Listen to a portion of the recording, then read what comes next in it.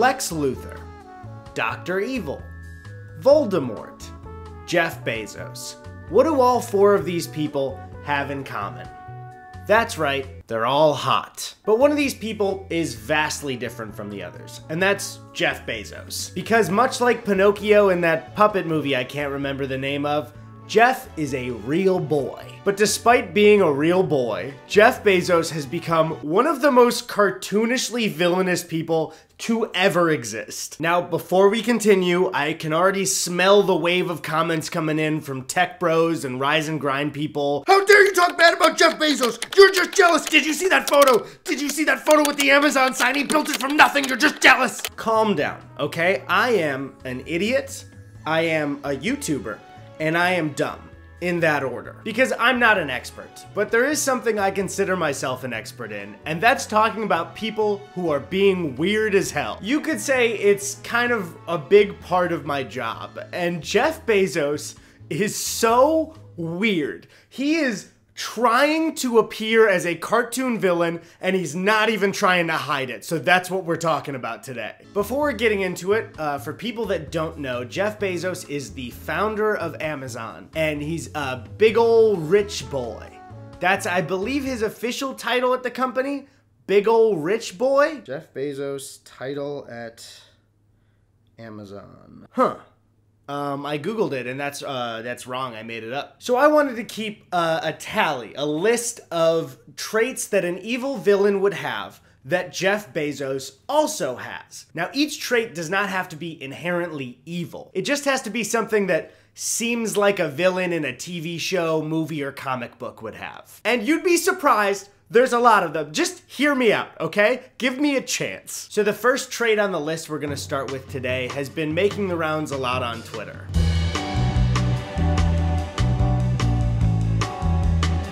If you've never seen Jeff Bezos laugh, and you think I'm being petty by starting with something like this, shut up. Shut your mouth and listen to his laugh. It will change your mind. Don't type a comment. Here's the laugh.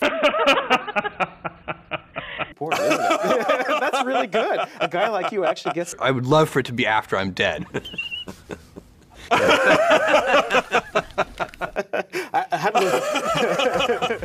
See?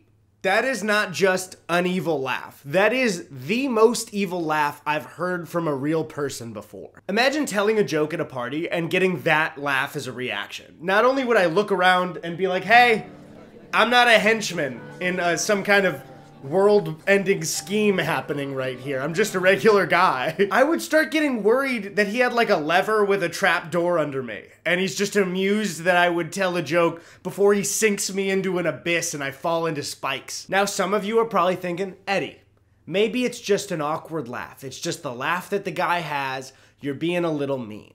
Okay, well let's see that laugh with a little bit of context. I want to introduce you to a clip of Jeff Bezos getting to try out high-tech gloves that let you control robot arms.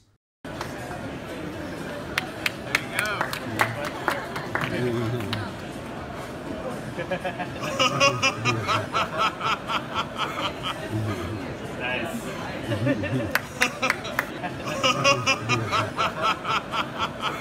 Get those gloves off of him before he gets any ideas. You can just see that bullied middle schooler villain arc in his head going, I'll get them.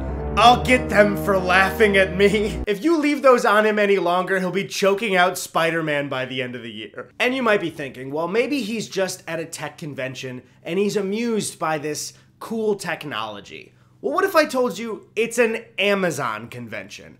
It's his convention. And while he doesn't own these gloves, I'm sure that people would be willing to sell them to Jeff Bezos. If I was such a rich, world owning CEO, I'd be like, I can't let this clip get out. This is a little too much, right? But he doesn't care. He doesn't care how it comes off at all because that's how powerful he is. He just doesn't give a shit. And if you're also thinking, maybe I'm still being unfair, I found an article reporting on it. And this is what the article states. After the gloves came off, one of the spectators asked Bezos how it felt. Weirdly natural, he said. He's Doc Ock. He's Doc Ock and Lex Luthor, and he's not even hiding it. I am so scared of this man. Please do not give him robot arms. He is recently divorced. I don't know what he'll do. Depending on what list you look at and when you're looking at it, Jeff Bezos hovers around the first, second, and third richest person in the world at all times. Now, being that rich would already land you on an evil villain trait, but it's what Jeff does with his money that also lands him up there. Amazon is, you know, Amazon, but he also owns a space company and a newspaper. You cannot be that rich and bald and go to space and not seem like a cartoon villain. And it just adds to it that he owns a really prominent newspaper to write good things about being rich and bald and going to space. Once he makes his space layer, we're gonna be seeing Washington Post articles like, maybe a laser pointed at the Earth could protect us from the bad guys? Maybe Jeff's a hero? He also recently had a yacht custom made because his other yacht wasn't good enough. And it really seems like he looked at the planners and said, give me a Bond villain boat. Look at this thing. When I was shopping around for yachts, I did consider having one built just for me. There's just something about cruising the seas in a boat that you had a hand in making yourself, and it speaks to your tastes in a way a ready made yacht just can't. And so that's exactly what I did. And it seems Jeff Bezos felt the same way too. The Amazon founder just commissioned a 417 foot or 127 meter yacht. The yacht is 417 feet long, which, if you stood up vertically, is a 38 story building. Let me say that again. It's a 38 story building. It doesn't get more Bond villain than a building yacht. Are you kidding me? for an insane $500 million, and it will undoubtedly be one of the most luxurious yachts the world has ever seen. The insane thing, too, about this yacht is that $500 million isn't even like a lot of money to him at all. And before the Bezos stand swoop in and go, Eddy, he doesn't actually have $171 billion. He can't spend that. He's worth that. So? So what? Can he build a robot army with his money if he wanted to?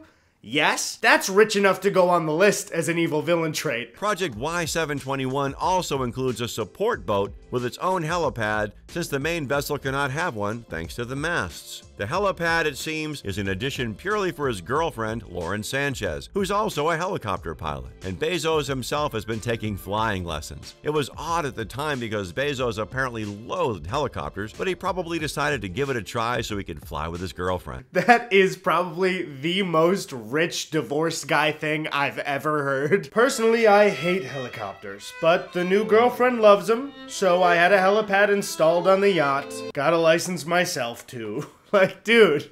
That is the most rich divorce thing you could ever do. I feel like everybody knows, you know, about his wealth. But the next trait is probably the most damning of all of them.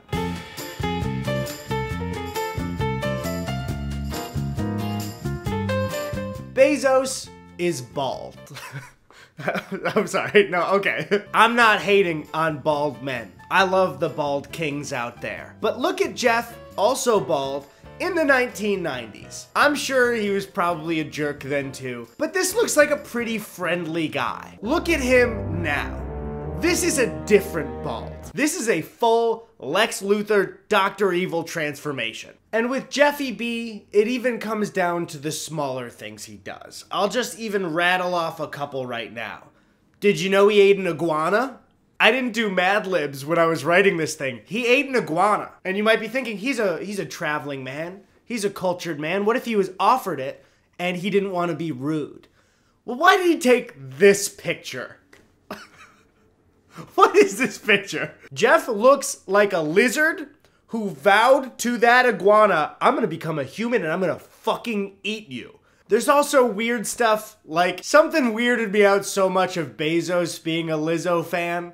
And on top of that, he made this tweet. I just took a DNA test. Turns out I'm 100%. And if it were the lyrics, it's that bitch. But he said 100% Lizzo's biggest fan. accompanied with this photo. I just don't understand how this man operates. It's just so weird. He's so weird. But a real recent obvious one that I mentioned earlier, Jeff went to space or, you know, just really high up. Some people are saying it's not exactly space. Uh, I'm gonna look it up and put it on screen whether it was space or not. I didn't research enough before I hit record. And Jeff, as the movie villain he is, decided he was gonna try and pull off a cowboy hat after going to space, which is upsetting to me because this was gonna be my new look. And then he goes to space and now it's the Bezos hat? This was gonna be the Burback hat. This was gonna be the new look. The Yikes shirt and the and the Burback hat. Howdy, ma'am. Look how natural that comes to me with the mustache. Howdy, miss. Give me a whiskey. Stat. You see how naturally that comes to me? I'm a natural born cowboy. They made that anime off of me, Cowboy Burback. That's so stupid. But right after he got back from space, he did this in an interview. Because you have grander space ambitions than going to the edge of it. Did this moment motivate you to push deeper into the cosmos? Hell yes. I don't get how he can come back from space after funding it himself and do that laugh. And people are like, I trust that guy. I trust him 100%. Not even a little bit of a feeling where you're like, he reminds me of a couple of people I've seen in media before. I just can't believe that whenever I see Jeff Bezos criticized, I see a bunch of people swoop in and try and defend him. And it's like, he's not even trying to hide to you that he has evil villain qualities. He doesn't care about you. He doesn't need you to defend him. So stop. And also, it's an inherently bad thing to buy a $500 million yacht that's a 38 story building while your employees are pissing in bottles. That's just what a villain would do. And you know, I want a career in traditional entertainment. So if Jeff Bezos somehow finds this video, hey, man, I was just kidding about all that stuff. You're so cool, Jeff. Um, I can't wait for you to rule the world. I was just, I was just joking, you know. Superman, that guy freaking sucks. I, you should kick his ass. I hope you kick his ass. I hope he doesn't win. Jeff, me, we go ba- way back. Me and Jeffy B. You know I'm just kidding. You know I'm just joshing, dude. Please don't fucking kill me. All right, well that's the video, guys. Uh, I don't have a 500 million dollar yacht, but I want one. Uh, so it's sponsor time.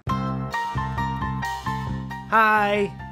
It's me from the video from before. This episode is sponsored by Morning Brew. Everyone say thank you, Morning Brew. Guys, I usually spend my morning crying, eating dry Cheerios, crying so hard that my tears get into the dry Cheerios, which makes me cry even more. It's a whole disaster. But then I used Morning Brew. Morning Brew is a free email newsletter from Monday to Sunday. It gets you up to speed on business news in just five minutes. I looked at it today, uh, woke up and saw that uh, good old Pfizer's getting approved. Let's go in the chat for that. I also learned how to ask my boss for a raise, so I will be having a very interesting conversation with myself in the mirror later. If you're interested in business, finance, or tech, there's no reason not to subscribe to Morning Brew. It's completely free and takes less than 15 seconds to subscribe. So click the link in the description below to subscribe to Morning Brew today. Thank you, Morning Brew, for sponsoring this. I appreciate it.